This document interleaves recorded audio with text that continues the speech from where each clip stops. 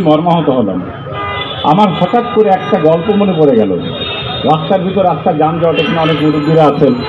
তারপরে গল্পটা বলি, আমাদের দেশে যখন স্বাধীনতা সংগ্রাম বা মুক্তিযুদ্ধ হয়, তখন আমাদের দেশে যে প্রথম বিমান বাহিনীটা রচনা হয়, ওই সময় আমাদের বীর যারা অনেক সোলজার ছিলেন, তাদের ভিতর ছিলেন বীরুত্তম শামসুল আলম। বা এরকম আরও অনেকেই যারা পাকিস্তানে ট্রেনিং করতো।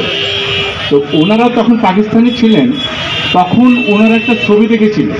ছবিটা হচ্ছে জহির রেহানের জীবন থেকে নেওয়া এই ছবিটা দেখার পরে ওনার ভিতরে পাকিস্তান তখন থাকে, তখন সে ফিল করল যে আমার দেশ তো এরকম পরাধীন, আমাকে তো এইভাবে এগোতে হবে। এরপরে ওনারা চলে এসছে এবং ফাইট করেছে যেটা চিটাগংয়ে পাকিস্তানের যে বিমান বাহিনী ছিল, তাদের ধ্বংস করে দিয়েছিল।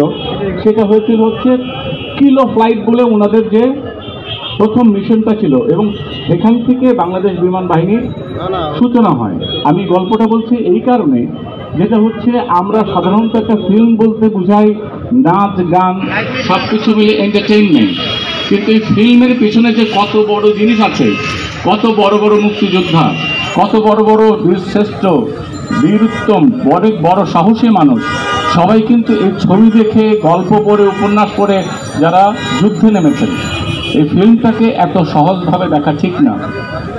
আমি এখন যে কথাটা বলতে চাই যে আমাদের সবারই ধর্ম আছে, যার যার ধর্ম আছে, যে পরিশ্রম করার পরে ঘাম শুকনের আগে পারিশ্রমিক দিয়ে দিতে হয়। আমি সৌভাগ্যবান, আমি যে অভিনয় করেছি, আমি সেলিম খান সাহেবের একটা ওয়েব সিরিজে কাজ করেছি, নাম হলো মাফিয়া। শাহিন সুমন ডিরেকশন দিয়েছে ওখানে যে দেখলাম, তার আগে আমার ওনার সঙ্গে পরিচয় হয়নি ব্যক্তিগতভাবে। ওনারও অনেক দেখলাম যে উনি অনেক ছবি করছেন, অনেক লোকের কর্মসংস্থান হচ্ছেন। ওনার ওখানে যাওয়ার পরে, পরিচয় হওয়ার পরে আমি মুগ্ধ হয়ে গেছি। আমি আমার এই কেরিয়ার লাইফে ছোটোখাটো তিরিশ পঁয়ত্রিশ বছর কেরিয়ার লাইফে অনেক প্রডিউসার অনেক ডিরেক্টর অনেক মানুষকে দেখেছি। উনি মনে রাখার মতো একটা মানুষ। আমি যেটা বলতে চাই যে আমাদের এখানে এখন ফিল্মের যে অবস্থা হচ্ছে, ফিল্মে অনেক সময় বন্ধ হয়ে গেছে, সেটা অনেকগুলো কারণ আছে। আমাদের এখানে অনেক পরিচালক, অনেক কলাকৌশলী, অনেক গুণী গুণী মানুষ এখানে আছেন, যাদের কোনো কর্মসংস্থান হচ্ছে না বা আমার মতো ছোটোখাটো একজন অভিনেতারা হচ্ছে না। যখন উনি একটা কাজ দিচ্ছেন, সেই টাকা নিয়ে কিন্তু আমি আমার পরিবার বলেন, আমি আমার সব জায়গায় বলেন, সেখানে কাজ করছি, সেই কাজটা হচ্ছে।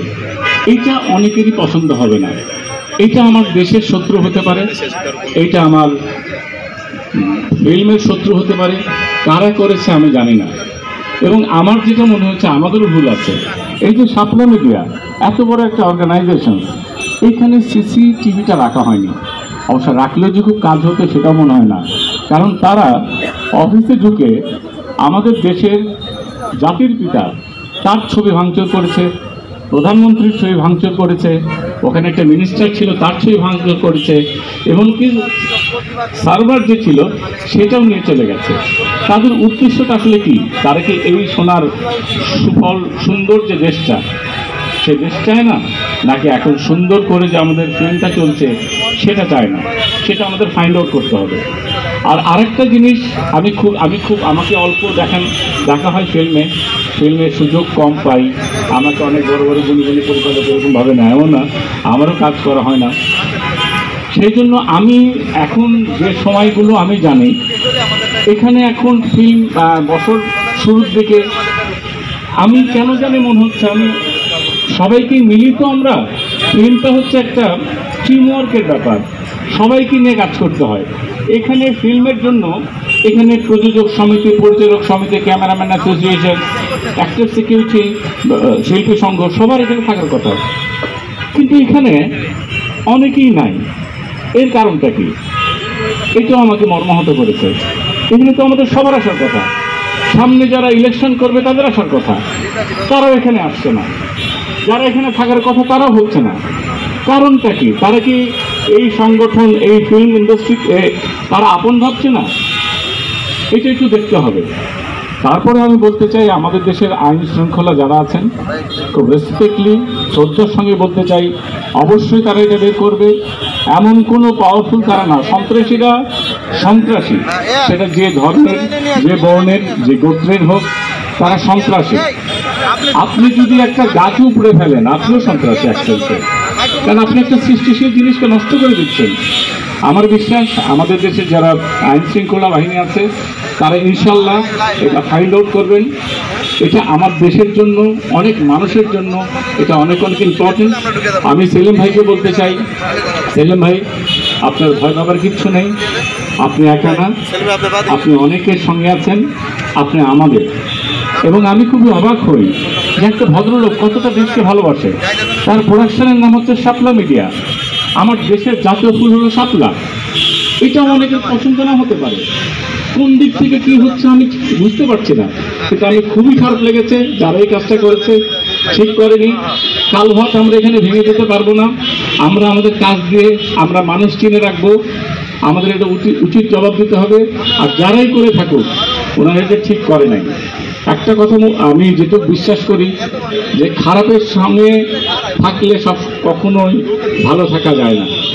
কষ্টে থাকলেও সৎভাবে থাকলে একটা সময় এন্ডটা অনেক বেটার হয়। এইটুকু আমি মনে করি, আর সেলিম ভাইকে বলব, সেলিম ভাই, আমরা সবাই আপনার সঙ্গে আছি। আপনি কোনো ভয় পেন না, আপনার কিচ্ছু হয়নি। আপনাকে যারা দাবিয়ে রাখতে চাইছে, আমার জাতির জনক যেরকম বলেছে যে বাঙালিকে দাবিয়ে রাখতে পারব না। সেলিম খানকেও দাবিয়ে রাখা যাবে না। সেলিম খান আগে যখন ছোট ছিল এই ঘটনার পরে সেলিম খানের নাম এখন সব জায়গায় চলে যাচ্ছে। স্বপ্না মিডিয়ার নাম আরও সব জায়গায় চলে যাচ্ছে। সেলিম ভাইয়ের সঙ্গে আমরা সবাই আছি সাপলা মিডিয়ার সঙ্গে আমরা সবাই আছি। আর যারা এই কাজটা ভিন্ন কাজ করেছে তাদের আমরা ঘৃণা জানাই। সবাইকে অনেক অনেক ধন্যবাদ।